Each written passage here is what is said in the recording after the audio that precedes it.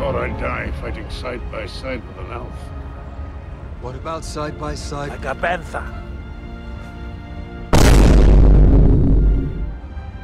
I... I could do that. Rise to the belief that there are no dwarf women, which is of course ridiculous.